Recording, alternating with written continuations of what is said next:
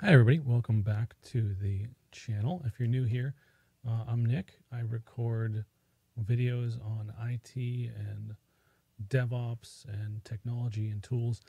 And uh, for folks who have been watching, you're probably aware that uh, I touch on FreeBSD stuff uh, every now and again because it's a, it's a topic that's a bit near and dear to my heart. And uh, I think more people should use FreeBSD. Um, I think that Linux is great and there's absolutely nothing wrong with it. But um, I think that FreeBSD is really good too. Uh, in many ways, I think it's better. And um, I think that a lot of people are sort of turned off by it a little bit because of the fact that it is um, initially when you set it up text only and you need to go install a desktop environment. And it's one of those things where it's not particularly difficult, but there is a bit to it. So I thought what I would do is I would try to make the process a little bit easier.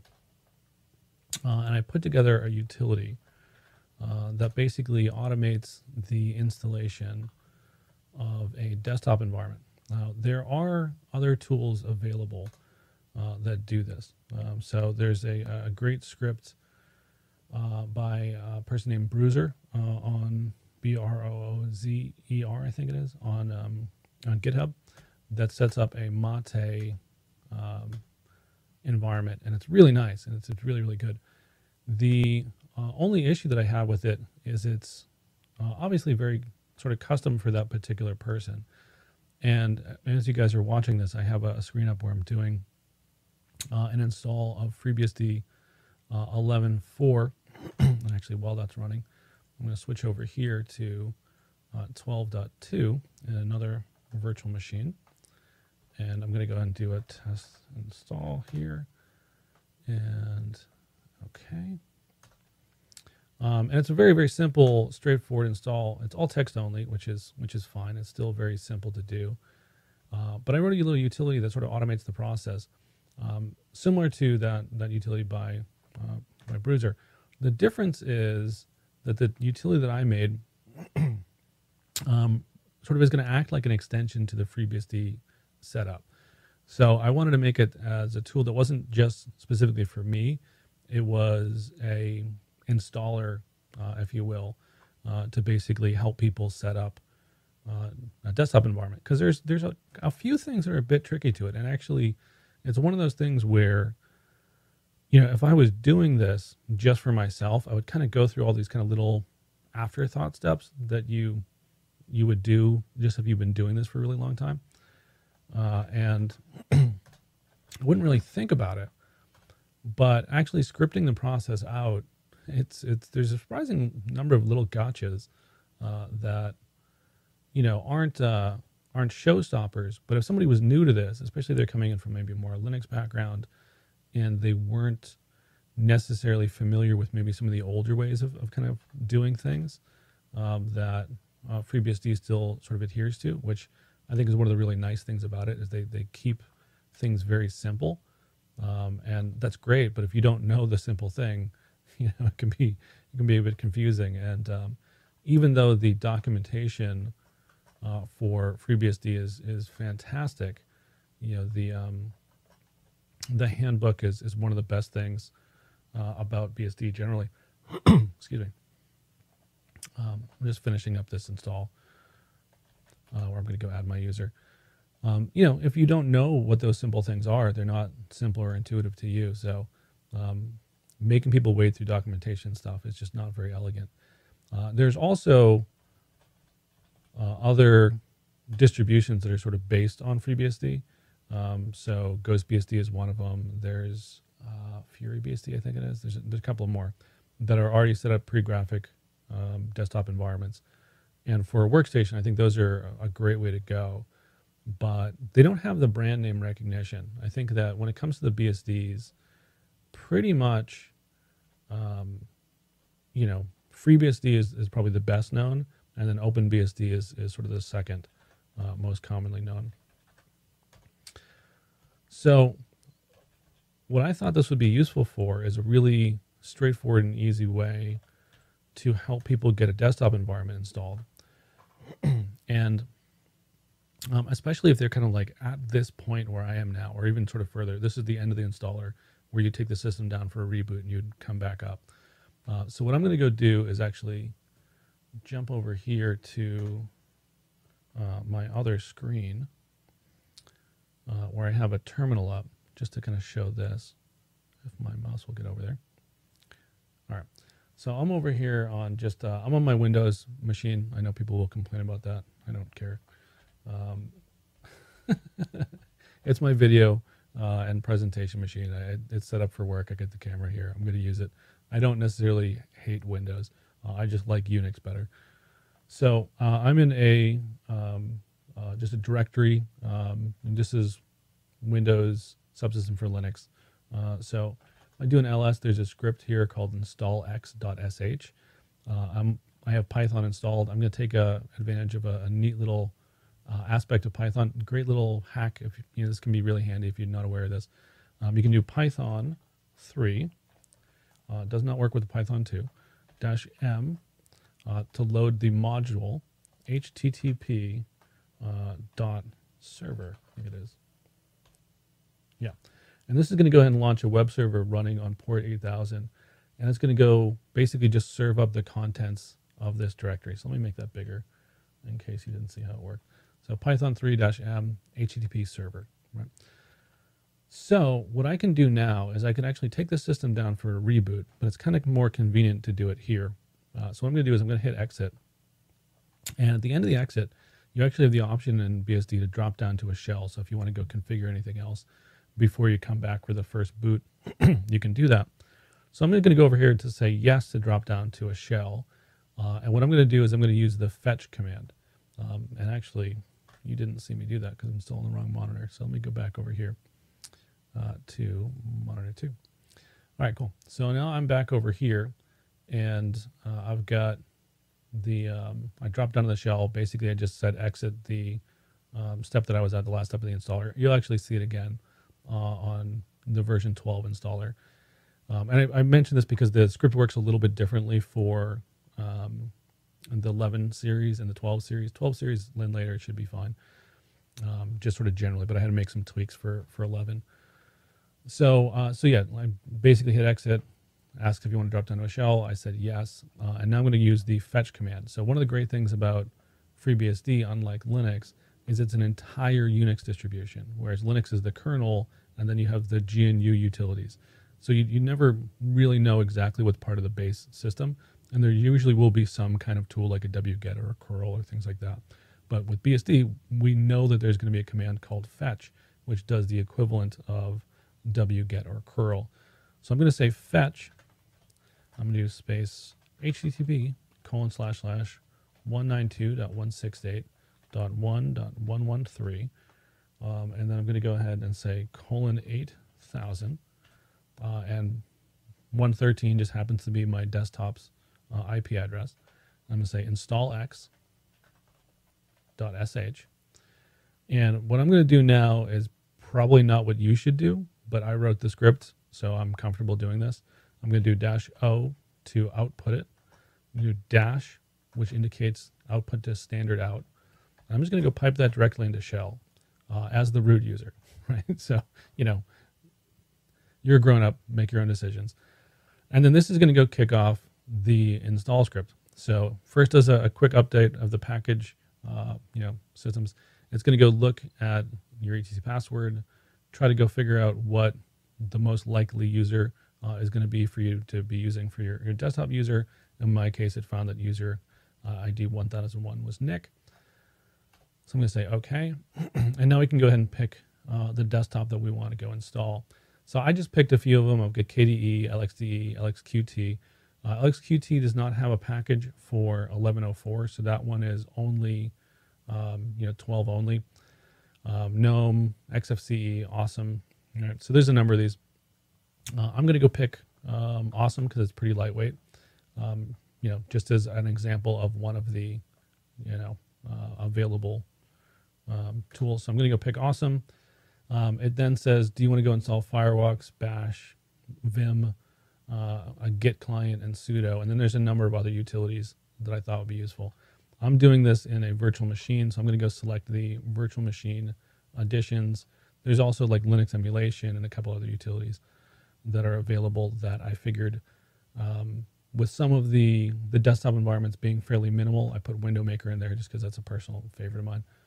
Um, you know, they may not have some of the expected utilities. You can just run this, and then you'll have like a uh, an environment that if you're coming into this from a, a Linux background, uh, you'll be comfortable with. So um, hit OK. And it's going to go ask if you would like to go install the drivers for your video card. Um, I'm going to go say no here. Uh, it'll basically ask you what kind of video card you have, and it will try to go install the most common video drivers. Um, if you're somebody who is familiar with FreeBSD uh, and you have some hardware kicking around uh, with different, you know, physical machines and GPUs, and you would like to um, try to help out, this is one area where I can't really test all of it. So if you want to give this a go and see if it works on your system, and then uh, let me know the, the feedback, either, you know, if you've got a patch or a fix, or, um, you know, just tell me what doesn't work, give me a bug report. Um, I'll be I'll be happy to update it. Uh, it also refers you to the specific section of the FreeBSD handbook that walks you through setting up the um, uh, graphic drivers manually. So, I mean, that's like another one of the things that if you're coming from a Linux background, it may not occur to you that you have to load the, the video you know, drivers because generally they'll work at least with sort of minimum graphical desktop out of the box. So at this point, it's going to go kick off downloading the packages and just doing the install. So while that's running, just because we got some time, I'm going to switch over to my uh, 12.2 system. Let me go move this a little bit over here and close it out. And we go create a very secure password.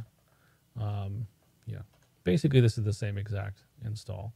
So um, it's probably not going to be super entertaining, but it's it's a it's a good vamp while the other system is uh, getting set up. I'm going to say no there. I'm going to say OK. UTC. Um, take the default time. Set up. Uh, I like to set up the local unbound. It's optional. It's a local DNS server, um, so that might speed things up a little bit. And um, yeah, I don't worry about the time because I'm going to be using, you know, uh, NTP date when the systems start up.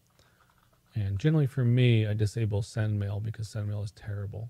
Um, and um, syslog D because I don't necessarily need, want this to be a syslog server. I'm kidding about send mail. It's it's clunky. It's not my favorite mail server, but um, yeah.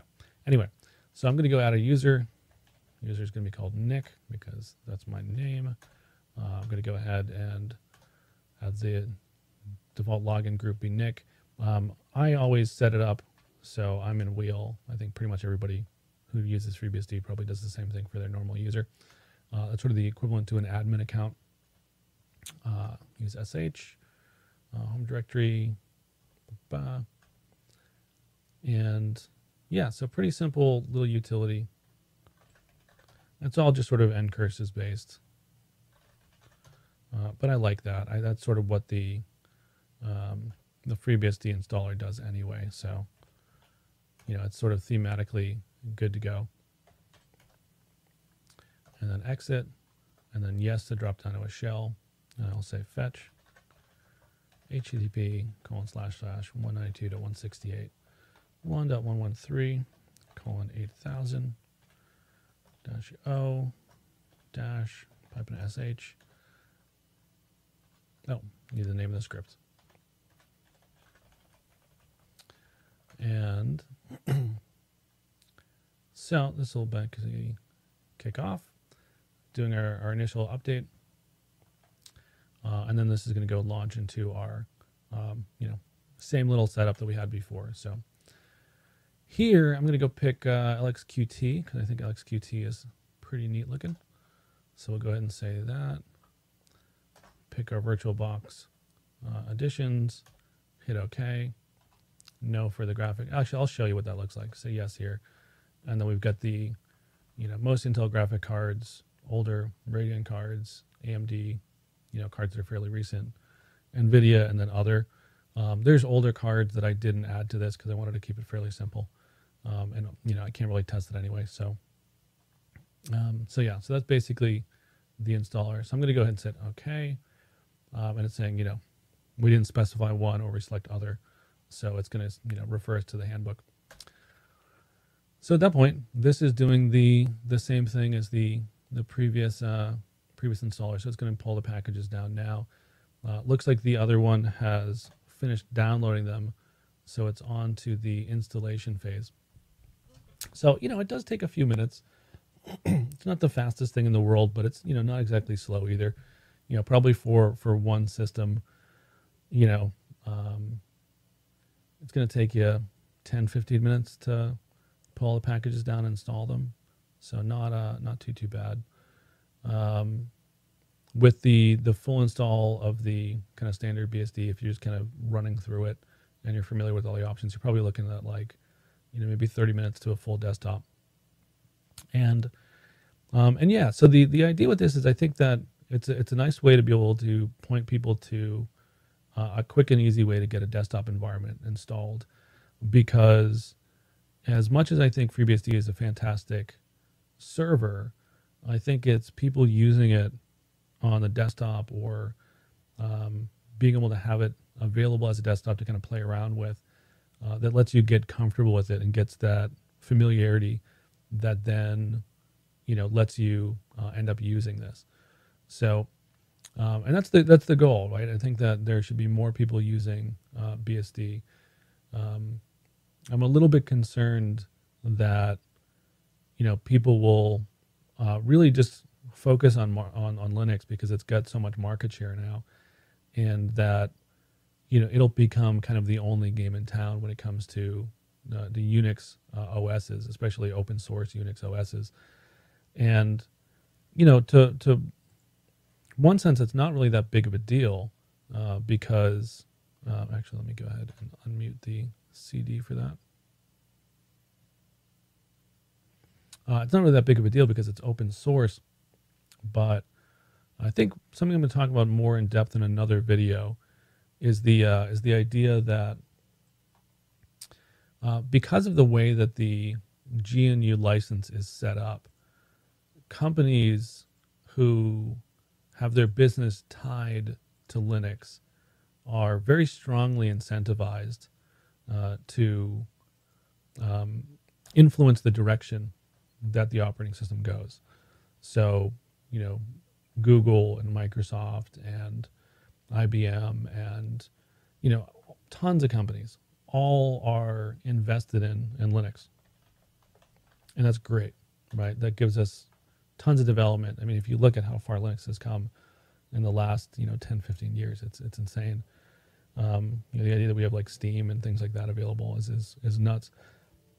But um, you do see it being sort of directed in a way that's um, you know a, a, bit different than historically uh, it, it has been. So looking at the time, it looks like it's been up for 22 minutes. So that's about how long the install takes. Um, so, oh, I got a virtual machine. Panic. What happened there? That's weird. Huh. All right. Well, we can. Good timing anyway. Um, hopefully that's not a VirtualBox thing. I did just recently upgrade my motherboard on system, so I'm a little bit worried that you know, there'll be some weird CPU shenanigans or something like that. Um, but yeah, so the the idea is that one of the great things about FreeBSD sort of generally is is it very much sticks to the traditional Unix philosophy of how to do things. Keep it simple. Everything should be as simple as humanly possible. It should be about moving streams of text around uh, because that's that's something that you can go do with uh, with you know more or less anything. I can move this back over here. Um, so okay, so it looks like our boot up has finished. I can now log in as Nick test my super secure password, uh, and boom, there you've got your uh, FreeBSD desktop up and running, good to go in uh, in next to no time. So, you know, I think it's um I think it makes it really easy for people to use it, and it gives you the same kind of choice that you might be familiar with if you're coming from from Linux.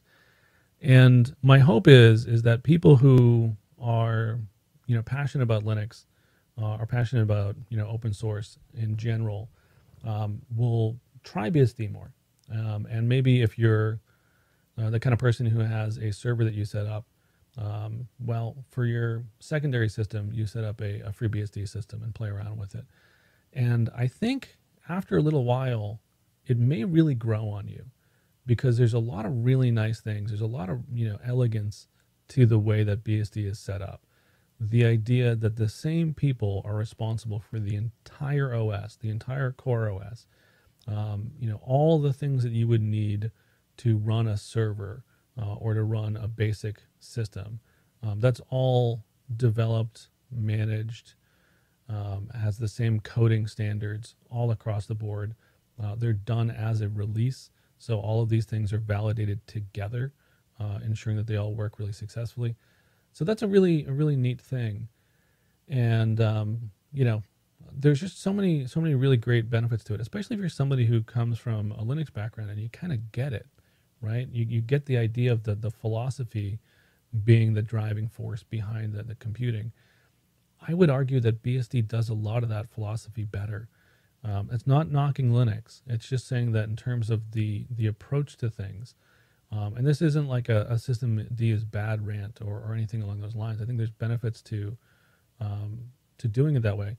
But I think it's really useful to have BSD in our back pocket, right? Even if it's not your primary OS, because if we did get into a situation where, you know, uh, big companies really were kind of steering the direction of Linux in a particular direction, yeah, we can fork it and we can have small projects uh, and, you know, um, try to go back to earlier versions and, and fork the kernel off and things but it's really difficult to do that without a really solid understanding of how you know things like the kernel internals or the system works and why rebuild a team to do that from scratch when we already have an incredibly good team in the folks at you know the FreeBSD Foundation and the OpenBSD folks and NetBSD folks as well. Um, I I personally tend to favor FreeBSD, but you know they're they're all really good. And if you look at you know, the FreeBSD development team, you know, you have people who are working on it still who can trace the way back to BSD4, uh, which is, you know, the original like Unix trademark, um, you know, version from, you know, University of Berkeley, California. Um, so, you know, that lineage is, is phenomenal and they've been, you know, maintaining and, and working on this, this operating system the whole time. Um, it's also not a an operating system that's influenced by by trends very much. So, you know, obviously it, it takes influence from what's going on in the in the world, but you know, it doesn't change things just to change them, right? So if something works and something is simple and something is is is good, let's leave it that way, right? Um, now you can also sort of develop other things and, and try stuff out, but unless there's like a really significant advantage from the new thing over the old thing, maintaining backwards compatibility and consistency is a really, really useful thing. So yeah, give it a try. This is um, the, the 11.4 release. So right now there's basically three FreeBSD releases. Be a little bit confusing to people. Uh, but there's the 11 series, uh, which is sort of the uh, the, the traditional, uh, to the sort of more slow moving one. Uh, there's uh, 12, which is you know a, a stable uh, release and and you know uh, works great. Um, and then we have 13, which is in beta right now, and um, the you know it's a, it's it's an interesting model for for, for releasing. Basically, your um, your user space is sort of like a rolling release type um, type system, uh, where they have sort of snapshotting, right? So they, they sort of snapshot in, in, in three month intervals. And at the end of a release cycle, you get like a, I think it's a I think it's a, a three year or five year support cycle. But the, the great thing about BSD is that, you know, the differences between 11 and 12 are very minimal um, in terms of things that could potentially break, right?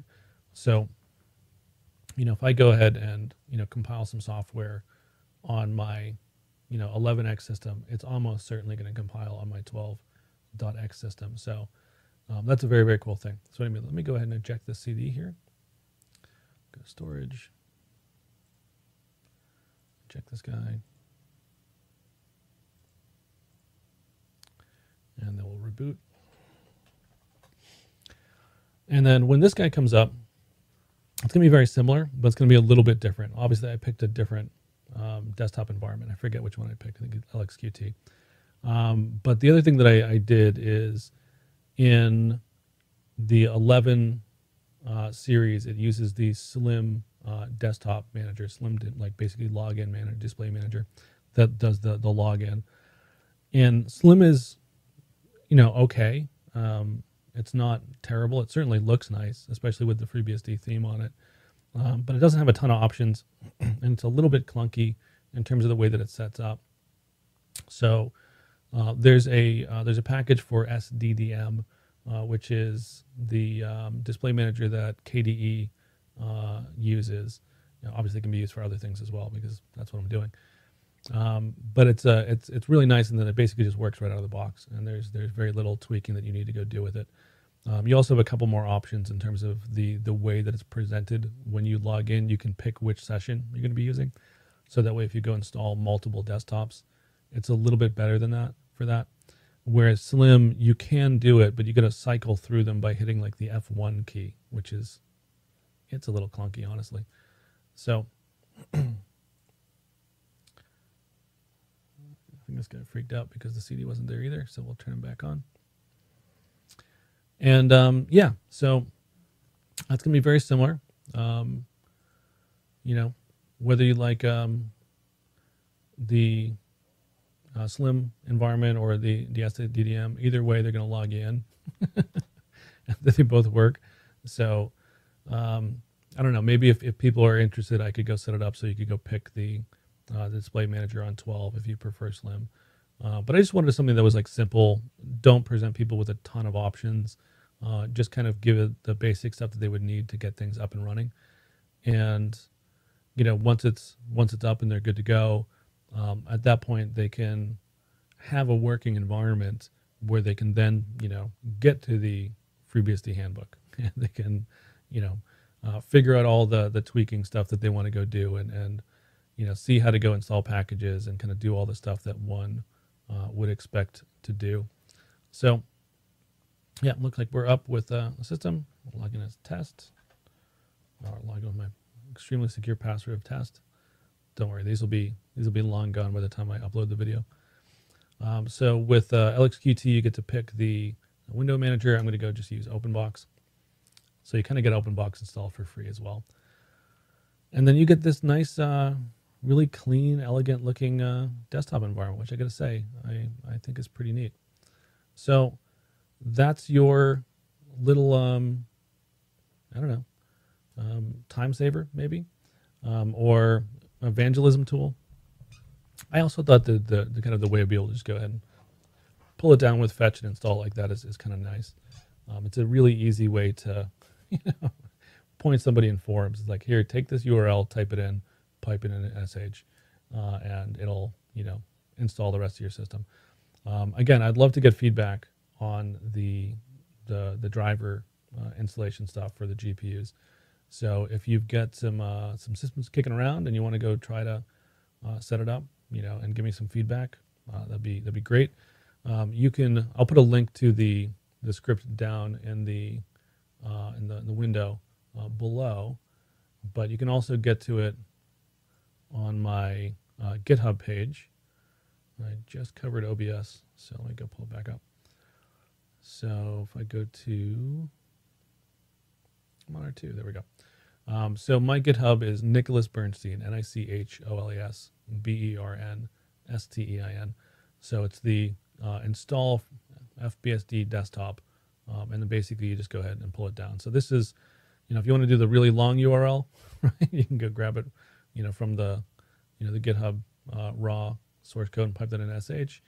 Um, but you know, you're probably better off just downloading it. Obviously, you can just you know uh, pull it in with Git if you're on a on a system. But at that point, you're already installing packages, so you, probably aren't the the candidate for this. So this is really easy. And uh, yeah, so thanks for watching. Uh, if you've enjoyed the video uh, and you subscribe, you might be able to see another one uh, from time to time if I'm not too lazy and actually start uploading things again. So hopefully I'll be doing more of that. Uh, otherwise, if you're in the US, I hope you had a, a nice Thanksgiving. And uh, if I don't post a video before uh, the, the new year, which hopefully I will, um, you know, happy holidays and all that kind of stuff, and take care.